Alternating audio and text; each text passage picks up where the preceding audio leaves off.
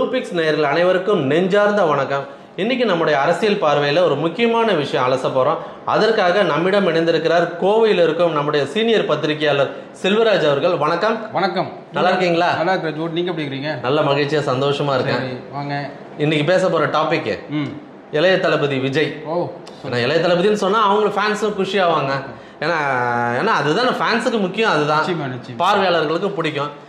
அது தவிர்த்து இப்போ வந்து விஜய் அவர்கள் வந்து அரசியலுக்கு வந்துடுவார் அப்படி இப்படின்னு சொல்லிக்கிட்டு இருக்கும்போது கிட்டத்தட்ட டெல்லிக்கு போய் கட்சியை பதிவு பண்ணுற ஸ்டேஜுக்கு வந்துட்டாங்க.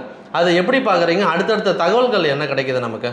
அதாவது நீங்கள் சொல்கிறது பெரும்பாலும் உண்மையான ஒரு கருத்தாக தான் இருக்குது. கடந்த சில நாட்களாக வந்து விஜய் பற்றி பரபரப்பாக பேசிகிட்டு இருக்காங்க. சி- சினிமா வட்டாரம் மட்டும் இல்லை திரையுலக வட்டாரத்துலேயும் அவரை பற்றி பெரு பெருசாக பேசிகிட்டு இருக்காங்க. அதுக்கு காரணம் வந்து அவருடைய நிர்வாகிகளை கூப்பிட்டு அவரோட என்ன ஈசிஆர் ரோட்டில் இருக்கிற அவரோட வீட்டில் பண்ணை வீட்டில். பண்ணை வீட்டில் வந்து சில இதெல்லாம் போட்டிருக்காரு பேசிக்கிறாரு. அதெல்லாம் உண்மைதான். உண்மைதான். அதாவது கட்சி பேர் கூட எல்லாம் முடிவு பண்ணி எல்லாம் பண்ணிட்டாங்கிறதாக ஒரு தகவல் வந்துருக்கு. அதுக்கு முன்னாடி நம்ம சில விஷயங்கள் பேசுவோம். ஏன்னா விஜய் வந்து சினிமாவை பொறுத்த வரைக்கும் கடந்த இருபது ஆண்டுகளாக வந்து அவருக்குன்னு ஒரு வட்டம் இருக்குது.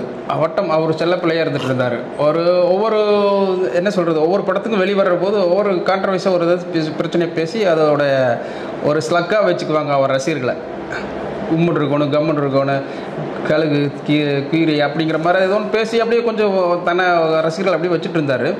இப்போ பார்த்தீங்கன்னா அந்த ரீதியில் வந்து அதே சமயத்தில் அந்த மியூசிக் டைரக்டர் மித்த முக்கியமானவங்களெல்லாம் அவங்க அவர் என்ன சொல்லுவாங்கன்னா சினிமாவை தாண்டி உங்களை ஏதோ மக்கள் வந்து பார்க்குறாங்க அப்படின்ட்டு ஏஆர் ரகுமான் ஒரு டைம் சொன்னார். ஏஆர் ரகுமான் வந்து சர்வசாதாரணமாக எடுத்துக்க முடியாது. யாரும் அப்படி பேச மாட்டார். அவர் அவர் சொன்னார் ஒரு டைம். ஏஆர் ரஹ்மான் வந்து தளபதி உங்களை வந்து சினிமாவை தாண்டி மக்கள் இளைஞர்கள் பொதுவாக உங்களை இதை எதிர்பார்க்குறாங்க அப்படிங்கிற மாதிரி சொல்லிட்டு இருந்தார். ஸோ வந்து அவங்க அப்பாவும் அந்த காலத்துலேருந்து கிட்டத்தட்ட ஒரு அரசியல் ஈடுபாடு கொண்டவர் தான். அந்த காலகட்டத்தில் வந்து அவரோட தந்தை எஸ் ஏ சந்திரசேகர் அவர்கள் வந்து அரசியல் ஆசைக்கு வித்திட்டவர். வித்துட்டவர். அவர் வந்து எல்லாம் தெரிஞ்சது தான் ஸோ வந்து இவர் ரஜினி மாதிரி எல்லாம் வருவேன் வரமாட்டேன் அப்படின்ட்டுலாம் இருக்க மாட்டார். இவர் வந்து ப்ரீ பிளானடு கிட்டத்தட்ட கிட்டத்தட்ட இருபது வருஷம் இருபத்தஞ்சி வருஷம். எனக்கு தெரிஞ்ச பல விஷயங்களை பார்க்குற போது எந்த ஒரு கான்ட்ரவர்சி இல்லாமல் தன்னை பாதுகாத்துக்கிட்டு பப்ளிக்கில் வந்து நான் தன்னோட இமேஜை காப்பாற்றிட்டு கொண்டு போய்க்கிற ஒரு கேரக்டர் வீட்டில் நம்ம வீட்டில் ஒருத்தன் அப்படிங்கிற மாதிரி தன்னை இமேஜ் இன்றைக்கி வரைக்கும் இருக்கிறார். பெரிய நடிகர் அவர் கூட மோதினா கூட சின்ன நடிகர் மோதினா கூட பல பேர் அவரை பற்றி சொன்னால் கூட படப்பிடிப்பில் நடந்தார் அப்படின்னு சொன்னால் கூட அதுக்கெல்லாம் பொறுமையாக பதில் சொல்லாமல் ஒன்றும் இல்லாமல் தான் இப்படித்தான் அப்படிங்கிற ஒரு கேரக்டர் ஸோ வந்து அரசியலுக்கு வரவதற்கு எல்லா தகுதியும் உள்ளவர். அஹ், குணநலத்திலையும் சரி பொதுநலத்திலையும் சரி உள்ளவர் அப்படிங்கிறது வந்து தன்னை நிலைநிறுத்திட்டார். அதே மாதிரி எந்த ஒரு விஷயத்தையும் அவர் எடுத்துக்கிட்டார்னா ஃபார் எக்ஸாம்பிள் அவர் ஆரம்ப கட்ட காலகட்டங்களில் அவரை வந்து ஃபாரினில் அனுப்பிச்சு படிக்க வைக்கணுன்றது அவங்க அப்பாவோட திட்டம். ஆனால் இவர் வந்து சாப்பிடாம இருந்து சினிமாவில் தான் நடிக்கணும்னு ஒத்த கால நின்று அது பல விஷயங்களை கற்றுக்கிட்டு இன்னைக்கு வரைக்கும் சினிமாவை நேசிக்கிறத சினிமாவை ஆழ்ந்து நேசிப்பவர்கள் இதை சொல்லிட்டு வராங்க. ஸோ அவர் எடுக்கிற விஷயம் எப்பவுமே வந்து சிறப்பாக இருக்கும்னு எதிர்பார்க்கலாம். அது கண்டிப்பாக ஒரு ஐம்பது வருஷம் அவர் ஒரு ஐம்பது வருஷத்து பக்கம் வந்துட்டார் அவருக்கு. வயசெல்லாம் ஆயிடுச்சு. இது வந்து ஒரு முக்கியமான ஒரு காலகட்டம். திரையுலகத்தை தாண்டி வந்து அரசியலில் தான் வந்து சாதிக்கணும் அப்படிங்கிற ஒரு கேரக்டராக வந்துக்கிட்டாரு அவர் வந்து இவரை தூக்கி வளர்த்த ஒரு கைகாட்டி கூட்டிகிட்டு போனால் இவருக்கு வந்து படம் இல்லாத போது அவர் கை நீட்டி கூட்டி அழைத்து வந்து சொந்தூர் பாண்டிங்கிற படத்தில் வந்து விஜயகாந்த் அவருக்கு வந்து அண்ணனாக நடித்து அதே சமயத்தில் நீயும் வாடா அப்படிங்கிற மாதிரி ஒரு திரையுலகத்துக்கு தூக்கி நிறுத்தின ஒரு கேரக்டர் பிம்பம் அவர் விஜயகாந்த். பட்டு முகம் தெரிய வச்சது. ஆமாம் அவர் வந்து அவரோட கணக்கு இருக்கு அதில். அவருடைய அவர் இறப்பு இறப்புக்கு பின்பு இவரோட அரசியலுங்கிறது சாட்டர்ஜிங்கிற வந்து கொஞ்சம் வேகமாக எடுக்குங்கிறது தான் உண்மை. இவர் வந்து வேகம் எடுத்துட்டாரு. அவர் இறப்பவே ஒரு அரசியலாக்கினாங்க. அதாவது அவர் வந்தபோது செருப்பு காலனியெல்லாம் வீசி மேலே இது பண்ணாங்க. அதை கூட அவர் பெருசாக பொருட்படுத்திக்கல. அதுக்கு அடுத்தனால வந்து கிட்டத்தட்ட அவரோட செயல்பாடுகள் என்னவோ அது நலத்திட்டங்கள் மக்களுக்கு வெள்ளப்பெருக்கு அதை தான் இருந்துச்சு. அப்படியே போயிட்டார். ஸோ வந்து இந்த மாதிரி காலகட்டத்தில் தன்னை வந்து கான்ட்ரவர்சி இல்லாமல் கொண்டு போயிட்டார். இதே வந்து என்ன சொல்கிறது அப்புறம் அதுக்கப்புறம் வந்து இப்போ கூட்டம். கூட்டம் போட்டது வந்து எனக்கு நமக்கு தெரிஞ்ச தகவல் ஏற்கனவே சொல்லிட்டு இருக்காங்க தமிழ்நாட்டை பொறுத்த வரைக்கும் திராவிடம் ஒரு கட்சி ஆரம்பிக்கிறாங்கன்னா திராவிடம் அப்படிங்கிறது வந்து தலை தூக்கி நிற்கணும் அப்போ தான் வந்து இங்கே வந்து எடுபடும் அப்படிங்கிற ஒரு மாயை பிம்பம் பிம்பம் மாய பிம்பம் இருக்கு. திராவிடம்ன்ற பேர் நான் வந்து மாதிரி. ஆமாம் ஆனால் இப்போ வந்து நடிகர் விஜய் வந்து தன்னோட க க- கட்சி பேரை வந்து தமிழர் தமிழர் தாங்கி தமிழ் மக்கள் அப்படிங்கிற சார்ந்து ஒரு கட்சி ஆரம்பிக்கிறதாக ஒரு தகவல் வந்துடுச்சு அதை வந்து அதுக்கு சில பேர்களெல்லாம் சூட்டபிளாக பேரெல்லாம் செலக்ட் பண்ணி வச்சுட்டாங்கங்கிற மாதிரி தகவல் வந்திருக்கு. ஸோ வந்து தமிழர் த தமிழர் தாங்கி தான் தமிழர் தமிழ் தமிழர் தாங்கி தமிழர் குடி அப்படிங்கிற மாதிரி தமிழர்களுக்கு சிறப்பு சேர்ப்பது. சிறப்பு ஆமாம் திராவிடம் இல்லை ஆனால் இது வந்து அதிமுக திமுக ஒரு எதிர்க்கும் சக்தியாகவே இருக்கும் அப்படிங்கிறதா உண்மை. திராவிட கட்சிகளுக்கு மாற்று சக்தியாக உருவெடுக்கும் அப்படின்னு நம்பலாமா? திராவிட கட்சினாவே திமுக அதிமுக இரு மாபெரும் கட்சிகளை எப்படி சமாளிப்பார்? ஈஸியா முடியாது இல்ல இல்ல இந்த கட்சி பெயர்லயே வந்து அவர் தன்னை நிலைநிறுத்திக்குவார். இப்படித்தான் என்னோட கொள்கை இப்படித்தான் இப்படித்தான் இருக்கும் இது மாதிரி தான் இருக்கு அப்படிங்கறத வந்து அதிலேயே கொண்டு வந்துட்டாரு. கொண்டு வந்துருவாரு அப்படிங்கறது வந்து எதிர்பார்ப்பு ரசிகர்களோட எதிர்பார்ப்பு. அவர் சுத்தி இருக்கிற ஒரு கேங் வந்து ஒரு அறிவுபூர்வமான அறிவார்ந்த டீமை அமைச்சிருக்கிறதாக கேள்விப்பட்டோம். அவருடைய பழைய ரெண்டு பேர் அட்வைசர்ஸ் பழைய அரசியல்வாதிகள் ரெண்டு பேர் தூக்கி போட்டிருக்காங்க ஐஏஎஸ் அதிகாரி ஓய்வு பெற்றவங்க. அப்படியெல்லாம் வச்சுக்கிறதாக தகவல் வருது. அது அது இல்லாமல் செய்ய முடியாது. எந்த அரசியல் யாரை ஆரம்பித்தாலும் அந்த டீம் இருக்கும். இருக்கத்தான் செய்யும். அது வந்து போயிட்டு. கடைக்கோடி வரைக்கும். வந்து கட்சியை வந்து க- விஜயகாந்த் வந்து ரெண்டாயிரத்தி ஆறில் தன்னோட கட்சி ஆரம்பிக்கிற போது தே தேமுதிக தேசிய முற்போக்கு திராவிடர் கழகம்னு ஒரு கட்சி வச்சு ஆரம்பிச்சார். அப்போது ஒரு தடவை கலைஞர் வந்து அவரை சந்திக்கிறார். சந்திக்கிற போது கேட்குறாரு விஜய் உன் கட்சி பேர் என்ன? அப்படின்னு கேட்குறாரு தேசிய முற்போக்கு திராவிடர் கழகம்ங்கிறாரு. அப்புறம் அதுக்கு விஜய் என்கிட்ட எனக்கு பிடிச்சது ரொம்ப பிடிச்சது எனக்கு. என்னென்னு கேட்டிங்கன்னா திராவிடம் தாங்கி நீ அந்த கட்சி வச்சிருக்க பார்த்தியா அந்த பேர் எனக்கு ரொம்ப பிடிச்சது அப்படின்னு சொல்லிட்டு அவரை பாராட்டினார். இவருக்கு தெரிஞ்சு வச்சாரா தெரியாத வச்சாரா விஜயகாந்த் தெரியல. ஆனால் வந்து கலைஞர் வந்து கொள்கை ரீதியாக வந்து திராவிடம் அப்படிங்கிற போது அதை தூக்கி நிறுத்தினார். ஆனால் அதே சமயத்தில் வந்து டிடிவி தினகரன் வந்து தன்னோட கட்சி ஆரம்பிக்கிற போது பயங்கர கான்ட்ரவர்சி ஆச்சு. அதே திமுக அதிமுக மற்ற கட்சிகள் எல்லாம் விட்டு என்ன திராவிடம் இல்லாமல் விருவாட்டுக்கு புதுசாக ஆரம்பிச்சுக்கிறாரு அப்படிங்கிறாரு. அம்மா மக்கள் முன்னேற்ற கழகம் அம்மா முக்கன்னு ஆரம்பித்தார் அந்த காலகட்டத்தில் பார்த்தீங்கன்னா எல்லாரும் ரொம்ப கான்ட்ரவர்சியாக பேசினாங்க. அப்போ அவர் கூட கேள்வி கேட்டாங்க நீங்கள் வந்து அம்மா மக்கள் முன்னேற்ற கழகம் திராவிடம் தாங்கி உங்கள் கட்சி இல்லையே திராவிடம்ங்கிற கட்சி இல்லையே திராவிடங்கிற பெயர் இல்லையே? அப்படின்ட்டு அவர் கூலாக பதில் சொன்னார். அம்மா யார்? திராவிடம். திராவிடம்னா யாரு? அம்மா. அப்போ அம்மா மக்கள் முன்னேற்ற கழகம் திராவிடம் தான் அதுக்கு எது திராவிடம் வைக்கணும்னு சொல்லிட்டு நாசுக்க பதில் சொல்லிட்டு அழகா கியூட்டாக பதில் சொன்னார் அவர். இல்ல அதே மாதிரி ப்ரெஸ்ஸை வந்து எனக்கு தெரிஞ்சு அவ்வளோ குயிக்காக ஹேண்டில் பண்ணுறதுலையும் தன்னுடைய நிலைப்பாட்டை வந்து ப்ரெஸ்ஸோட மனசுல ஆழமா பதிய வச்சு ஒருவேளை இவர் நல்லது பண்ணுவாரோ? இவர் இப்படி பண்ணிடுவாரோ? இவரோட எண்ணங்கள் தாட்ஸ் எல்லாம் இவ்வளோ வைடா ப்ராடா இருக்கு. அவர் கொடுத்த அந்த விஷயத்துக்கு தான் ஆர்கே நகர் மக்களும் ஆமாம். இருபது ரூபாய்க்கு போட்டாங்க. அந்த இருபது ரூபா அது தனி கதை. அது வந்து என்னன்னு கேட்டிங்கன்னா அது அதாவது ஒரு பெரிய ஒரு பிம்பமாக வர வேண்டிய என்ன கேள்வி கேட்டாலும் பதில் சொல்லுவாரு. நல்லா அதாவது அணுகுமுறை ப்ரெஸ் அணுகுமுறை வந்து ரொம்ப நல்லா இருக்குது அந்த ப்ரெஸ் அணுகுமுறை வந்து பார்த்தே சில பேர் குடும்பத்துலேயும் சரி மற்றவங்களும் சரி அவர் வந்து நல்லா வருவாங்க நல்லா செய்வார் அப்படிங்கிற ஒரு பிம்பம் இருந்துச்சு. ஆனால் அதே எடப்பாடி பழனிசாமி வந்து முதல்வர் உட்காந்த உடனே அந்த பிம்பத்தை அட்டச்சு உடச்சு உடச்சு எடுத்தாச்சு. அவருக்கு வந்து ப்ரெஸ் மீட்டே வைக்கக்கூடாது யாரும் டெலிகாஸ்ட் பண்ணுறாதீங்கிற மாதிரி மறைமுகமாகலாம் போட்டாங்க. அதெல்லாம் அந்த அப்போ வந்த வரலாறு. அதை வந்து யாருக்கும் வந்து இப்போ இன்னைக்கு சப்ஜெக்டுக்குள்ள வந்துருவோம் ஆ. சப்ஜெக்டுக்குள்ளே வருவோம் அப்போ பார்த்தீங்கன்னா அந்த மாதிரி காலகட்டத்தில் போயிட்டு இருக்கிற போது இப்போ வந்து இவர் கட்சி பேரே தமிழர் தாங்கி தமிழர் தமிழ் தமிழ் தமிழ் குடி தமிழர் தாங்கி தமிழர்கள் அப்படிங்கிற பேரை தான் இருக்கிறதுனால இது வந்து மிகப்பெரிய ஒரு என்ன சொல்கிறது தமிழ்நாட்டில் வந்து ஒரு மிகப்பெரிய ஒரு மாற்றத்தை கொண்டு வருமா அப்படிங்கிறது வந்து ஒரு அரசியல் நம்மளை போன்ற அரசியல் ஆய்வாளர்களுக்கு ஒரு வித்தியாசமாக இருக்குன்னு ஏன்னா எழு கடந்த எழுபது ஆண்டுகளை வந்து இங்கே திராவிடம் அதிமுக திமுக திமுக அதிமுக மாறி மாறி வந்த ஒரு காலகட்டத்தில் இப்போ வந்து மக்கள் ஒரு மாற்றத்தை விரும்புவாங்க அப்படின்னு சொல்லிட்டு நாம் தமிழர் கட்சி அவர் ஆரம்பித்தார் திராவிடம்ங்கிற கட்சி பேர் இல்லாமல் நாம் தமிழர்னு கட்சி ஆரம்பித்தார் அவர் பார்த்திங்கன்னா ஒன்று ரெண்டு மூணு அப்படின்னு சொல்லிட்டு எட்டு பர்சன்ட் வரைக்கும் இப்போ வளர்ந்து நிற்கிறாரு அவர் ஒரு பக்கம். திராவிடம் இல்லாத கட்சிகள் நான் சொல்கிறது இப்போ இவர் வந்து வராரு. ஏற்கனவே வந்து இவருக்கு வந்து ஒரு பெரிய மாஸ் இருக்குது இந்த காலகட்டத்தில் வந்து அதாவது அப்படியே சேஞ்ச் ஆகுது. அதாவது நைன்டிஸ் கிட்டும் இருக்கு டூ கே கிட்ஸும் இருக்கு. இன்னொன்று இவரோட படங்கள் வந்து ஃபேமிலியை ஃபேமிலியோட பார்க்கலான்ற ஒரு இது இருக்கு. ஆ அது போக பார்த்தீங்கன்னா கிட்டத்தட்ட பட் இதெல்லாம் ஓட்டா மாறுமா?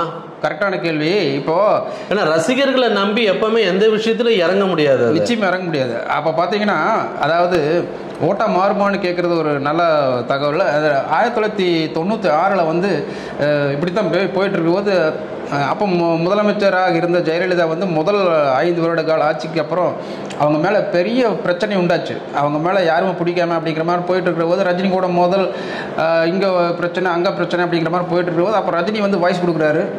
கிட்டத்தட்ட யாருமே எதிர்பார்க்காத அளவுக்கு திமுக அமோக வெற்றி. மூப்பனாரும் கூட நின்னார் அப்போது அப்போ பார்த்தீங்கன்னா ரஜினியால தான் ஜெயிச்சுன்னு சொல்லிட்டு எல்லாருமே சொன்னாங்க.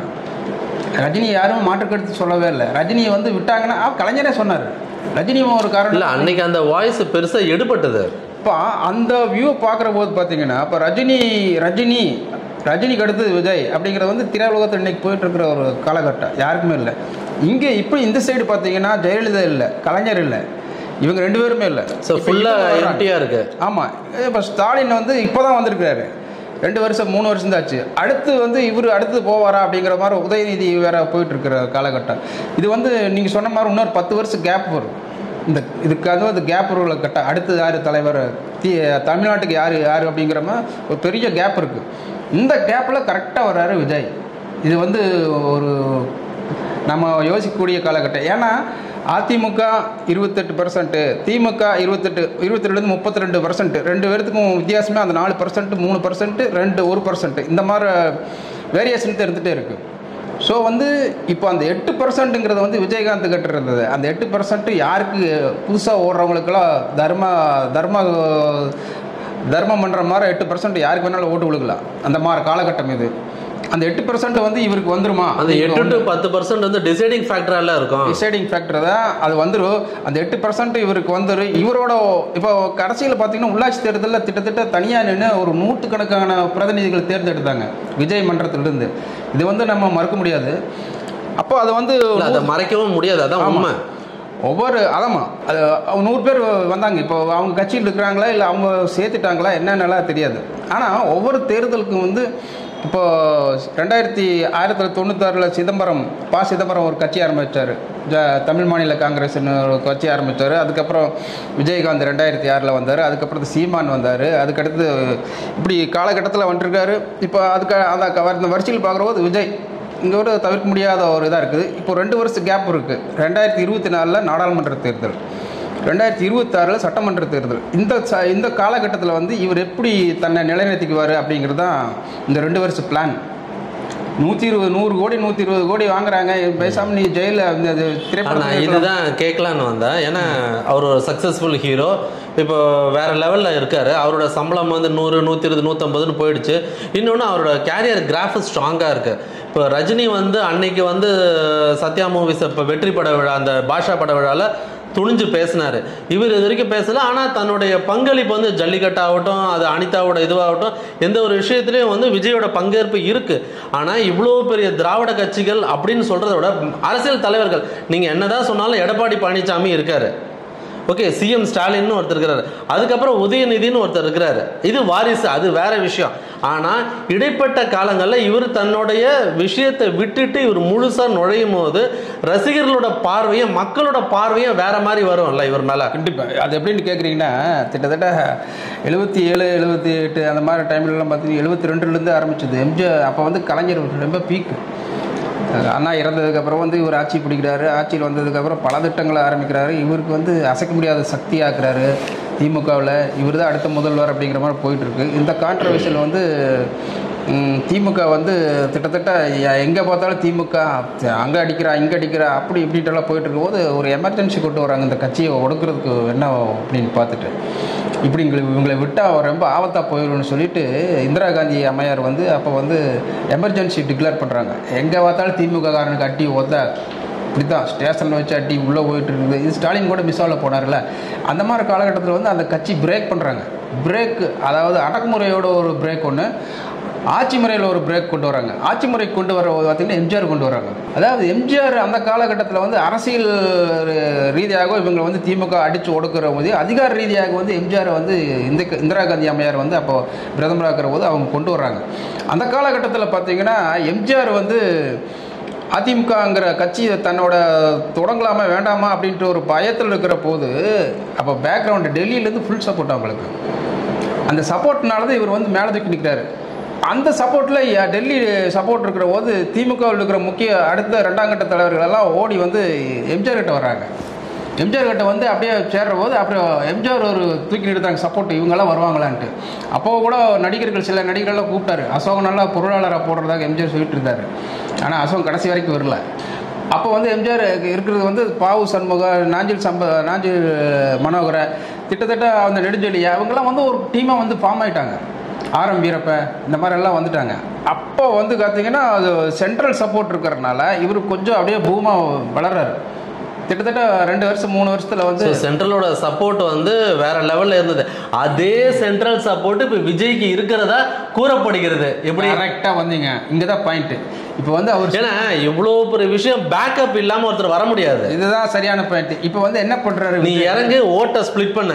ஆமாம் ஏற்கனவே நரேந்திர மோடி இவர் சந்திச்சுக்கிறாரு அது போக இவர் அடஞ்ச அஜெண்டா என்னன்னு தெரியும் சுலபமாக பேசுகிறாங்க மத்தியிலேருந்து ஆளுக்கு வர்றாங்க. பேசுகிறாங்க டெலிகேட்ஸ் கூட பேசுகிறாங்க புஷி ஆனந்த் வந்து சென்ற வாரம் வந்து இப்போது டெல்லியில் தான் இருக்கிறாங்க. அங்கே வந்து சில தகவல்கள்லாம் பேசி உடன்பட்டாங்க. அந்த காலகட்டத்தில் வந்து பார்த்தீங்கன்னா இவங்களுக்கு கேட்குற உரிமையெல்லாம் அங்கே ஈஸியாக கிடைக்கும் இப்போ என்ன கட்சி பேர் வேணும்? எங்களுக்கு வந்து இவ்வளோ இது வேணும். எங்களுக்கு இவ்வளோ நிதி வேணும். இவ்வளோ சப்போர்ட் வேணும். இவ்வளோ போலீஸ் வேணும். இவ்வளோ பந்தோபஸ்துக்கு வேணும். அப்படின்னு சொன்னாங்கன்னா ஃபண்டிங் வித் ஃபுல் சப்போர்ட் இருக்குன்றீங்க எல்லாமே வந்தாச்சு. எல்லாமே வந்தாச்சு.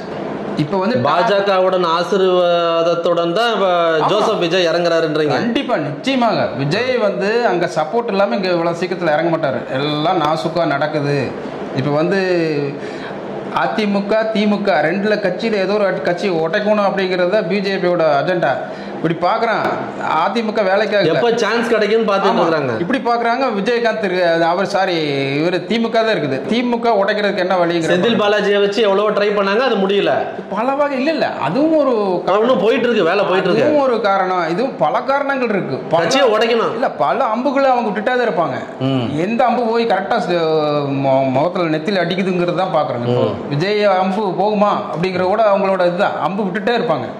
அது திமுகவும் தெரியாம இல்ல. அவங்களுக்கு எல்லா விஷயம் தெரியும். என்னென்ன வேலை இவங்களுக்கு ஒரு சோர்ஸ் இருக்கும்போது திமுகவுக்கு அந்த சோர்ஸ் இருக்காதா? இல்ல அதிமுகவுக்கு தான் அந்த டெல்லி சோர்ஸ் இருக்காதா? எல்லா என்ன மூவ்ன்றது அவங்களுக்கு தெரியாமல இருக்கும்? அவங்க இப்போ காரணம் வந்து இந்த ரெண்டு கட்சியில் ஏதோ ஒரு கட்சி உடைச்சு நம்ம பா- பாஜக வளர்த்தணும். அதுக்கு யார் காரணம்? அது எல்லா விதமான அம்புகளையும் விட்டுட்டே இருப்பாங்க.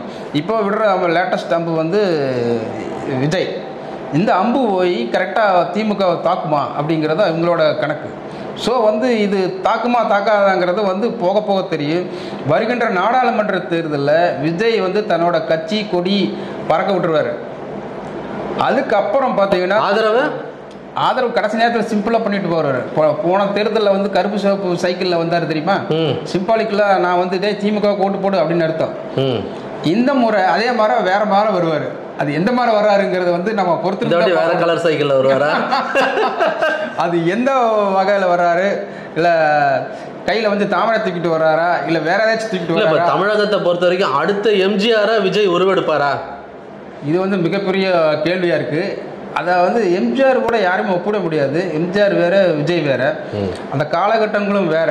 இன்னைக்கு வந்து இல்ல நீங்க சொன்ன கூற்றின்படி தான் நான் வரேன். சென்ட்ரல் அரசியல் அந்த பார்வையும் பாக்குறேன் இன்னொன்னு நடிகர்ல இருந்து வரும்பொழுது அந்த ஒரு பார்வையும் இருக்குல்ல? அதாவது எம்ஜிஆர் கூட ஒப்பிட முடியாது. ஆனால் வந்து இவர் விஜய் வந்து தன்னோட சக்தியை முழு சக்தியும் திரட்டி தன்னை ஆளுமையாக ஒரு காட்டுறதுக்கு எல்லா முயற்சிகளும் எடுப்பார். எடுப்பார் எடுத்து எடுத்து செயல்படுவார். அது திமுக வந்து எந்த அளவுக்கு தாக்கும் அவங்க எவ்வளோ தாங்குவாங்க எவ்வளோ எதிர்ப்படிப்பாங்க அப்படிங்கிறதெல்லாம் அவங்களும் சும்மா இருக்க மாட்டாங்க.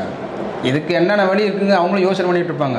வந்து விஜய் இந்த மூமெண்ட்ஸ் எல்லாம் உதயநிதிக்கு தெரியாதா? அக்கு வேற அணை வேற தெரிஞ்சிருப்பார் அவர். எல்லா மூமெண்ட்ஸும் தெரிஞ்சிருப்பார். எல்லாமே அவங்களுக்கும் சோர்ஸ் இருக்குது அவங்களுக்கும் ஐஎஸ் இருக்குது. அவங்களுக்கு ஐபி இருந்துச்சுன்னா அவங்க ஐஎஸ் இருக்குது இப்போ எல்லாமே தெரிஞ்சிருப்பாங்க. அதுக்குண்டான வேலைகள் அங்கேயும் செய்வாங்க. அப்போ அடுத்தது யாரு அப்படிங்கிறப்பாரு உதயநிதி விஜய். அடுத்த பாயிண்ட் அதுதான். உதயநிதியா விஜயா அப்படிங்கிற ரேஞ்சு தான் அடுத்த அரசியல் அடுத்த ஒரு பத்து வருஷத்துக்கான அரசியல் போகும் அப்படிங்கிறது இப்போதைக்குள்ள ஒரு காலக்கணிப்பு நம்மளுக்கு மூத்த. பத்திரிகையில நடுவில் அண்ணாமலையை சேர்த்து இருக்காரு. நீங்க அவரை சேர்த்துக்கலையா? அண்ணாமலை வந்து அவர் வந்து அவரோட கட்சி வளர்த்துறதுக்கு கொடுக்கப்பட்ட ஒரு அஜெண்டா அவர். ம். அவ்வளவுதான். அவர் வந்து கூட்டணி கூட சேர்ந்துக்கலாம் இப்போ வந்து உங்களுக்கு இப்போ இல்ல இந்த மும்மூர்த்திகள் வந்து ஃபியூச்சர்ல வந்து ஒரு பெரிய இம்பாக்ட் கிரியேட் பண்ணுவாங்கன்னு ஒரு மூத்த பத்திரிகையாளர் சொல்லியிருக்காரு. அது வந்து அண்ணாமலை எந்த அளவுக்கு தாக்கத்தை ஏற்படுத்துவாருன்னு எனக்கு தெரியல. ஏன்னா வந்து அவர் ஒரு பெரிய நேஷனல் கட்சியோட அவர் சோஷியல் மீடியாவை ரொம்ப நம்பி இருக்கிறாரு. தமிழ் தமிழக லீடர். திடீர்னு அவர் மாற்றலாம் அவர் தமிழிசை இருந்தாங்க அவங்கள வந்து மாற்றினாங்க போனாங்க வர்றாங்க. அதனால அவர் ஸ்டாண்டர்டாக இருப்பாரா அப்படிங்கிறது தெரியாது. ஆனால் இங்கே வந்து அரசியல் களம் வந்து விஜய் உதயநிதி அப்படிங்கிறது தான் அடுத்த பத்து வருஷத்துக்கு போகும். சீமான் அவர்கள்? சீமான் வருவார். அவரும் வருவார். அவரும் வந்து ஏன்னா இப்போ செய்தியாளர் சந்திப்புல எல்லாம் சீமான் பேக்கிறேன் விஜய் கூட நீங்க சேருவீங்களா? இல்லை விஜய் கூட சேருவா அது அப்புறம் பார்த்துக்கலாம்னு சொல்றாரு. அவர் கடைசி நேரத்தில் அண்ணன் கூட வந்து சேருவேன்னு சொல்றாரு. இதெல்லாம் நீங்க எப்படி பாக்குறீங்க? அது வந்து சீமானோட ஸ்டாண்டு வந்து இது வரைக்கும் இப்போ சொல்லிட்டாரு அவரு தனி தனித்து தான் போட்டி அப்படின்ட்டாரு. ஆனா இது எந்த மாதிரி விஷயங்கள் கொண்டு வரும்? காலச்சூழ்நிலைகள் எல்லாத்தையும் மாற்றும் மாற்றும். அது யாரு யாரு நிரந்தர நண்பனும் இல்லை யாரு நிரந்தர எதிரியும் இவர் இல்லை ஓட்டு வங்கி எவ்வளவு இருக்குது என்ன இவருக்கு என்ன செல்வாக்கு இருக்குது அப்படின்னு சொல்லி பார்த்துட்டு நாளைக்கு எல்லாரும் மாறுறதுக்கு வாய்ப்பு இருக்குது ஒன்றா இவர் இவர்கிட்ட எல்லாரும் வர்றதுக்கு வாய்ப்பு இருக்குது இல்லை அவர்கிட்ட அவர் போறாரா அப்படிங்கிறது வந்து ஓட்டு தான் ஓட் பேங்க் தான் வந்து நிர்ணயம் செய்யும். விஜயோட அரசியல் பிரவேசம் எந்தெந்த கட்சிகளுக்கு சேதாரத்தை உண்டாக்கும்?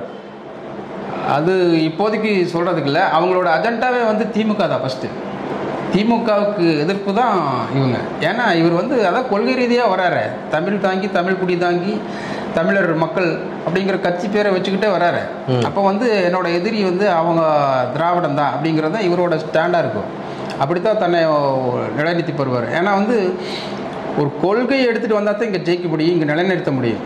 இப்போ திமுக இன்னைக்கு வரைக்கும் நிற்கிறதுக்கு காரணம் வந்து கொள்கை ரீதியாக இருக்காங்க கொள்கை இப்படி தான் எங்கள் கொள்கை இப்படி தான் இருமொழி கொள்கை.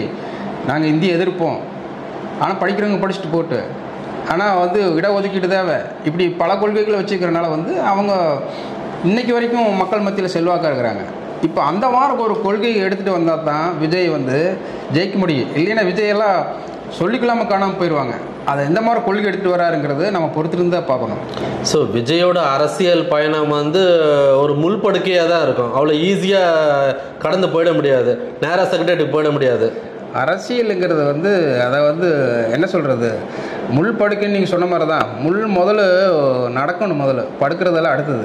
முதல்ல நடக்க முடியுமான்னு பார்க்கணும். அப்போ எழுந்திரிச்சு நிற்கணும் ஓடணும் ஒடியாரணும் அடி வாங்கணும் உத வாங்கணும். அப்புறம் தான் படுக்கை. இத்தனை விஷயம் இருக்கு.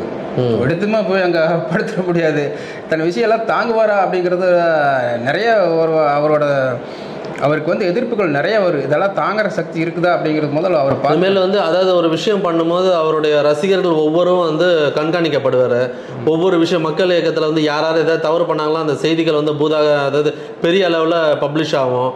இந்த மாதிரி விஷயங்கள்லாம் அவர் எப்படி தாக்கு பிடிப்பாரா அதுக்குன்னு சில என்ன ஏன்னா பர்சனல் டேமேஜும் பண்ணுவாங்க கிட்டத்தட்ட. நிச்சயமா அது இருக்கு. அதெல்லாம் பொது வாழ்க்கைன்னு வந்தாவே எதுக்கு ஏன்னா ரஜினி பயந்த ஒரு விஷயமே க கடைசி காலகட்டத்தில் பர்சனல் டேமேஜ் ஹெவியாக இருக்கும். அது தானே அதாவது எல்லாருக்கும் நம்ம நட்போட இருந்துட்டு போயிடுவோம். இப்போ நீங்க சொன்னீங்க கரெக்டான விஷயம். ரஜினி ஏன் வரல அப்படின்னு சொல்லிட்டு அரசியலுக்கு வரேன்னு சொல்லி கேட்டிங்கன்னா கர்நாடக மாநிலத்தில் வந்து சூப்பர் ஸ்டாராக இருந்தவர் ராஜ்குமார். ராஜ்குமார் வந்து தன்னோட வாழ்நாள் வரைக்கும் கடைசியில் ஒரு முப்பது நாற்பது வருஷத்து வரைக்கும் கவர் கர்நாடக கவர்மெண்ட்டை எந்த ஆட்சி வந்தாலும் தன்னோட கண்ட்ரோல் வச்சுருந்தார். இண்டஸ்ட்ரி சினிமா இண்டஸ்ட்ரி கண்ட்ரோல் வச்சுருந்தார். ரெண்டுமே ஒரு லகான் போட்டிய குதிரையாக வந்து த அவர் வந்து பயணம் மேற்கொண்டுட்டு இருந்தார். அதே தான் கூப்பிட்டார். ரஜினிகிட்டையும் அதே தான் சொன்னார். ரஜினிக்கு அவர் பாடம் எடுத்தார். அரசியலுக்கு வராத. அரசியல் சி- அரசியல் வந்து கடுமையான ஒரு சோதனையான ஒரு இடம். சினிமாவில் இருந்துக்கோ அரசியலை கண்ட்ரோல் பண்ணிக்கோ அப்படின்னு தான் சொன்னார். அதே நிலைமை தான் நான் அன்னைக்கு இருந்து கிட்டத்தட்ட ஒரு பத்து பதினஞ்சு ஆண்டுகளாக நான் போடுற பதிவு அப்படி தான் அரசியலில் வந்து ராஜ்குமார் சொன்னதான் ரஜினி கேட்பார் அதை வந்து இப்போ மாறவே மாட்டாருன்னு சொல்லிட்டு நான் அன்னைக்கு ஒரு பத்து வருஷமாக என்னோட பதிவு போட்டுருக்கிறேன் இன்றைக்கி இன்னைக்கு வரைக்கும் அது மாறல. அவர் கட்சி நாளைக்கு ஆரம்பிக்கிறாருன்னு போது கடந்த ரெண்டு வருஷத்துக்கு முன்னாடி ஆரம்பிக்கிற போது மு- அதுக்கு முந்தின நாள் கூட நான் மதிப்பு போட்டேன் நான். அவர் நாளைக்கு கண்டிப்பாக டிக்ளேர் பண்ண மாட்டார். அரசியல் கட்சி தொடங்க மாட்டாருன்னு க அடித்து சொன்னேன். காரணம் வந்து ராஜ் நடிகர் ராஜ்குமார் தான். ஏன்னா அவர் சொன்ன விதத்தில் வந்து இவர் போயிட்டுருக்காரு. இன்றைக்கி வரைக்கும் அவருக்கு இன்றைக்கி சொன்ன மாதிரி வந்து பொது வாழ்வு குடும்ப பிரச்சனை தனிப்பட்ட பிரச்சனை எல்லாம் தாக்குதல் நடக்கும். அதுபோக நிர்வாகிகளை தமிழ்நாடு முழுவதும் போடணும். அவனுக்கு ஃபண்டு அனுப்பணும். பிரச்சனை வரும் அந்த மாவட்ட செயலாளர் இப்படி இருக்கிற இந்த மாவட்ட செயலாளர் இப்படி இருக்கிற அவனுக்கு வந்து அங்கே கொலை பண்ணிட்டாங்க. இங்கே வந்து உண்ணாவிரதம் அங்கே வந்து போராட்டம் அப்படின்ட்டு பல பிரச்சனைகள் வரும். இன்னொன்று அதுக்கும் மேலே ரஜினிகாந்த்ன்றது ஒரு நியூட்ரலான மனிதர்னு ஒரு இருக்குது அவர் ராகுல் காந்தியும் வந்து பார்ப்பாங்க மோடியும் பார்ப்பாங்க அமித்ஷாவும் பார்ப்பாங்க. இது இங்கிலாந்து அதிபர் வந்தாலும் வந்து பார்ப்பாங்க ஜப்பான் அதிபரும் பார்ப்பாங்க. அதுலயே அப்படியே டிராவல் பண்ணிட்டு போயிடலாம்னு நினைக்கிறாரு. ஆமாம் பிகாஸ் ஆஃப் அதுக்கு காரணம் வந்து கேட்டிங்கன்னா ஆசியாவில் வந்து இன்னைக்கு வரைக்கும் ஜாக்கி சான் அதுக்கடுத்து ரஜினிகாந்த் அப்படிங்கிற ஒரு ட்ரெண்ட் இருக்குது இன்னைக்கு வரைக்கும். மதிப்புமிக்க மனிதர்கள் சினிமாவில் சினிமா உலகில் மக்கள் மத்தியில் மதிப்புமிக்க ஆண்மை ஆளுமை யாருன்னு அப்படின்னு கேட்டிங்கன்னா ஜாக்கி அது- அதுக்கடுத்து ரஜினிகாந்த் தான். அமிதாப் பச்சன் அதெல்லாம் அதுக்கப்புறம் தான் வர்றாங்க. ஸோ வந்து அந்த ஒரு Category. கேட்டகரியில் இருக்கிறவரை வந்து இங்கெல்லாம் எதுக்கு வந்துட்டோம்? நீங்கள் சொன்ன மாதிரி சிங்கப்பூர் அதிபரெல்லாம் வந்து அவர் சர்வசாதாரணமாக பார்த்துட்டு போகிறாங்க இப்போ மற்ற நடிகர்களை பார்க்க முடியுமா? விஜயெல்லாம் பார்க்க முடியுமா? முடியாது. விஜய் வேணால் அவங்கள போய் பார்க்கலாம். ஆனால் ரஜினி கேட்டகரி வேறு. ரஜினி வந்து ஒப்பிடவே முடியாது. அந்த மாதிரி ஒரு ஆளுமை அவர் ரஜினிகாந்த். ஸோ வந்து இந்த மாதிரி ஒரு காலகட்டத்தில் இருக்கிறனால இப்போ லால் சலாம் ஃபங்க்ஷனில் கூட விஜய்க்கு வாழ்த்து தெரிவித்ததாக ஒரு தகவல் ஆ, அது வந்து அவர் ரசிகர்கள்லாம் வெளியில் வந்து சொல்லியிருக்காங்க. இனிமேல் வந்து விஜயை வந்து நாங்கள் இது பண்ணுற டீஸ் பண்ணுற மாதிரி நாங்கள் எங்களோட பதிவை போட மாட்டோம். நாங்கள் எல்லாம் நாங்கள் ஒற்றுமையாக இருப்போம் அப்படின்னு சொல்லியிருக்காரு. ஸோ இது வந்து இன்னொரு பக்கம் வந்து ரஜினி வந்து விஜய்க்கு ஆதரவு தெரிவிக்கிறாருன்ற ஒரு கருத்து நிலவுது. உண்மை. அவர் வந்து சொல்லிட்டாரு. ஆ, அதாவது ஆதரவுன்னு வெளிப்படையாக சொல்ல எனக்கு வாழ்த்துக்கள் அப்படிங்கிற மாதிரி சொல்லி சொல்லிட்டாரு. என்ன காரணம்? நீங்கள் நாங்கள் கொஞ்ச நேரத்துக்கு முன்னாடி நம்ம ரெண்டு பேரும் பேசணுமே டெல்லி ஆளுமை வந்து சப்போர்ட் இருக்கிற போது அவங்க கூப்பிட்டு சொன்னாங்கன்னா இவருக்கு சப்போர்ட் பண்ணிட்டு இருப்பாங்க கான்ட்ரவர்சியாக பேசாதீங்க. விஜய்க்கு எதிராக ரஜினிகாந்த் அப்படின்னு சொன்னால் அவங்க என்ன செய்ய முடியும்? ஓகே ஓகே ஓகேன்ட்டு தான் போக முடியும் அவர் ம். ஏன்னா ரெண்டு மூணு வடை கமிட் பண்ணிக்கிறாரு அதுக்கப்புறம் போயிட்டு இருக்கு அவரும் பார்க்கணும் கிட்டத்தட்ட. அதனால வந்து விஜய்க்கு இன்னும் கூடுதலாக பலமாகும் அப்படிங்கிறது யதார்த்தமான உண்மை. ஓகே ரொம்ப நன்றி. விஜயோட அரசியல் பயணம் வந்து வெற்றிகரமாக அமையும் என்பதே அனைவரின் விருப்பம் எங்களின் விருப்பம். மீண்டும் ஒரு காணொளியில் இது போன்ற சூடான விவாதத்துடன் உங்களை சந்திக்கிறேன். நன்றி வணக்கம். வணக்கம். Thank you.